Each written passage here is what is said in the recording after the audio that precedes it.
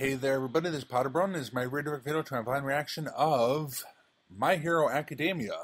Yep, I am starting a new series.